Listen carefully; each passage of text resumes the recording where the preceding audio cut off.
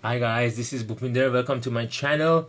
Today I want to show you how you can turn your computer on automatically without you being present. That means every day at the same time it will turn on automatically by itself without you being present.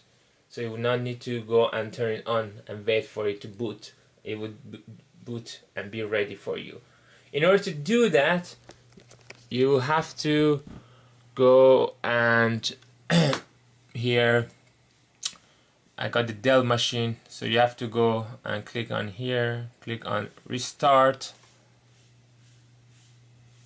And then when the page appears you have to click F2 this is for Dell in order to get to your BIOS system. For other uh, PCs it might be a different function key. But for Dell it is F2 keep pressing F2 because that screen can be very short so we don't want to skip the step. So keep pressing F2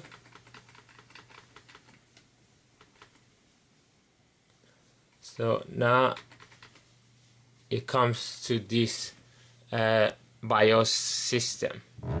As you can see these are all the options that I got uh, in order to make uh, the things to work you have to go to the power management in here expand it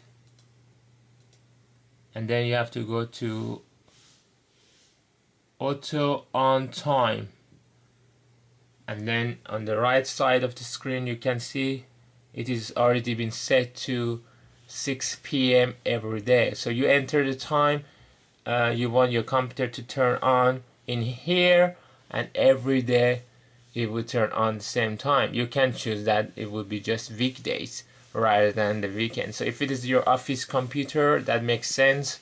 You work only in the weekdays not in the weekends even though some people might work in the weekends as well. Anyways so this is how you turn it off turn it on and if you are not happy with it just disable it.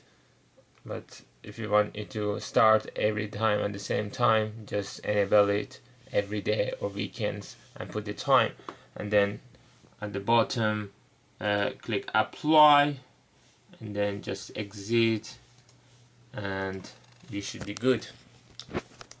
I hope you enjoyed watching this video and this video helped you to learn one step more in how to use the technologies in these days day of age because the the more we know about technology especially computers the more literate we are.